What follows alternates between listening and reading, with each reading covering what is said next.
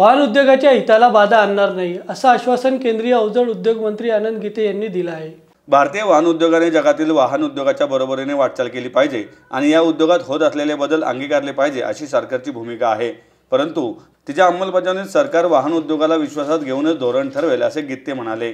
Symposium of international automotive technology दोन हजार एकोणीस या वाहन तंत्रज्ञान विषयक जागतिक परिषदेच्या समारोपाच्या सत्राचे प्रमुख पाहुणे म्हणून ते बोलत होते. तीन दिवसाच्या या परिषदेचे आयोजन येथील ऑटोमेटिव्ह रिसर्च असोसिएशन ऑफ इंडियाने केले होते. संस्थेच्या संचालक डॉ डॉक्टर रश्मी उधुरेशा अखिल भारतीय तंत्र शिक्षण मंडळाचे अध्यक्ष अनिल सहस्त्रबुद्धे टाटा मोटरचे वरिष्ठ महाव्यवस्थापक एस आर जे कुट्टी तसेच परिषदेचे निमंत्रक श्री ए बादशाह यावेळी उपस्थित होते.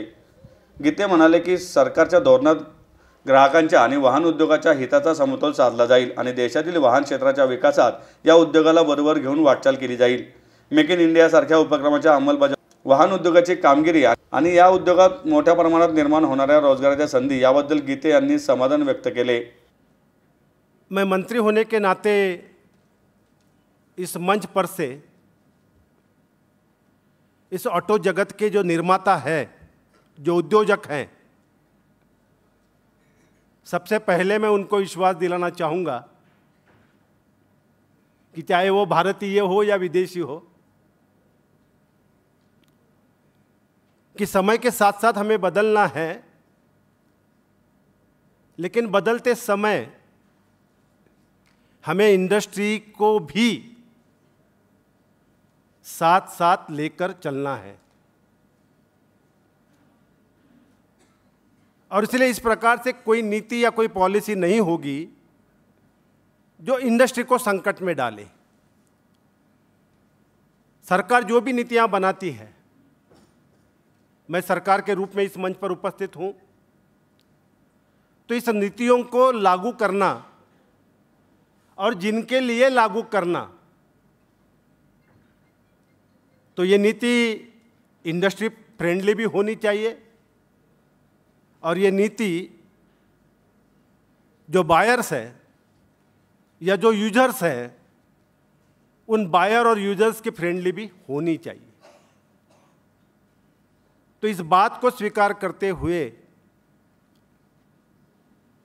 सौभाग्य से पिछले पाँच वर्ष प्रधानमंत्री नरेंद्र मोदी जी की मैं सरकार में हूँ और पाँच वर्ष से इस भारी उद्योग मंत्रालय की जिम्मेवारी सफलतापूर्वक इस मंत्रालय की जिम्मेवारी मैं संभाल रहा हूँ। अब 2019 का चुनाव नज़दीक आया है।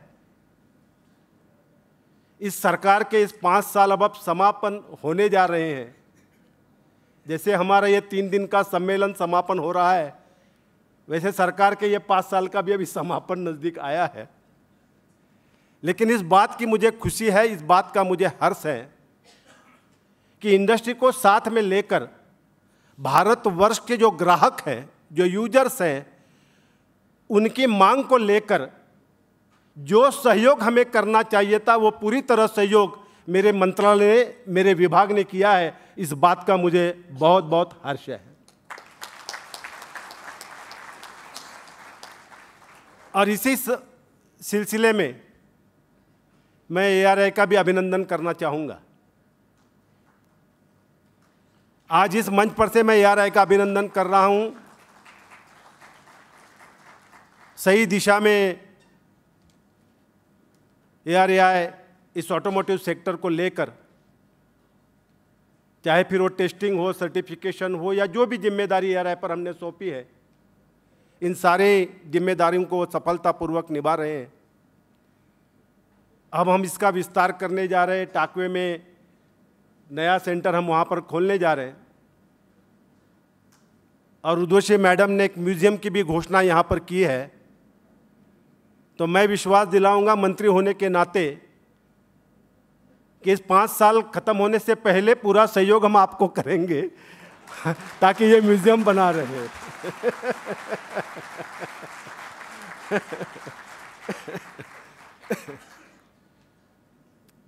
वैसे मैं हिंदी में बोलता हूँ तो मुझे मैडम उद्वसी ने कहा था कि मैं यहाँ पर अंग्रेज़ी में ट्रांसलेशन करना चाहती हूँ। लेकिन आज लगभग जो सभागार में उपस्थित है, वो मुझे लगता है लगभग सारे हिंदी समझते हैं। और इसीलिए यहाँ पर ट्रांसलेशन की व्यवस्था हमने नहीं की। तो एक रिश्ता है। सरकार और जनता हो, सरकार और इंडस्ट्री हो तो एक रिश्ता होता है, इस रिश्ते को बनाए रखना हमारी ज़िम्मेदारी है। और इस रिश्ते को बनाए रखने में जो सहयोग करते हैं, उन संस्थाओं में यह हमारी ए आर आई सबसे अग्रेसर संस्था है। इसलिए मैं ए आर आई को यहाँ पर धन्यवाद देता हूँ। आज हमने कई अवार्ड्स यहाँ पर दिए। सारे स्टॉल्स तो मैं विज़िट नहीं कर पाया, मैं सिर्फ़ ए के स्टॉल में गया, समय कम था। अब यहाँ से फिर मुझे एक, मेरे अपने क्षेत्र में कार्यक्रम के लिए जाना है। मिनिमम तीन घंटे की जर्नी है, यहाँ से मुझे जाना है। चार बजे का कार्यक्रम मैंने लिया है। तो समय कम था, इसलिए सारे स्टॉल्स तो विज़िट नहीं कर पाया। लेकिन जो एयर ने अपने टेक्नोलॉजी से, जो बस की जो एल्यूमिनियम बॉडी वहाँ पर बनाई है और एक बस आपने जो एल्यूमिनियम, जैसे पहले हमारे स्टील बॉडी आती थी। तो मैंने जानने की कोशिश की इसका अंतर, इससे फ़र्क क्या है? हमें क्या इससे लाभ होना है एल्यूमिनियम बॉडी से? तो एक उन्होंने कहा कि लगभग 800 किलोग्राम का वज़न कम हुआ है। जब वज़न कम होगा तो ऑटोमेटिकली फ्यूल कम लगेगा तो फ्यूल की बचत होगी। दूसरा, ये एल्यूमिनियम है तो उसको रस्ट होने का या लगने का कोई संभव आता नहीं जो स्टील में होता है तो मेंटेनेंस भी कम होगा।